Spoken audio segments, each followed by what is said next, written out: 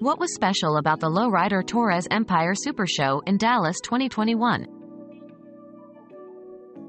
The Lowrider Torres Empire Super Show in Dallas 2021 was a spectacle, offering a fusion of classic automotive artistry and vibrant cultural celebration.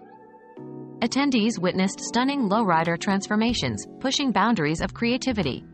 Apart from mesmerizing car displays, there were music, dance, and engaging events for the entire family. It was not just a car show, it was a cultural extravaganza, bringing the lowrider community together and celebrating a shared passion. Whether you're a lowrider enthusiast or just looking for a day of fun, the event promised an experience to remember.